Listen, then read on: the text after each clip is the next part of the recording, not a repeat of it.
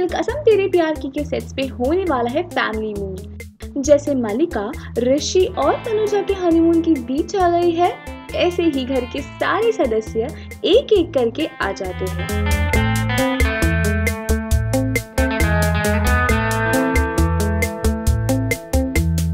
लेकिन यहाँ पे भी है एक ट्विस्ट तनुजा को होती है गलत फहमी उसे लगता है ऋषि ने मलिका को किया किस और वो भड़क जाती है। देखना ये है कि आगे क्या होगा।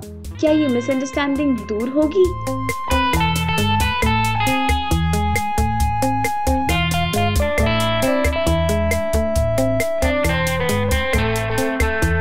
आपको क्या लगता है? शेयर करें कमेंट बॉक्स में और टीवी जगत की अन्य चटपटी खबरों के लिए सब्सक्राइब करें हमारा channel TV prime time Hindi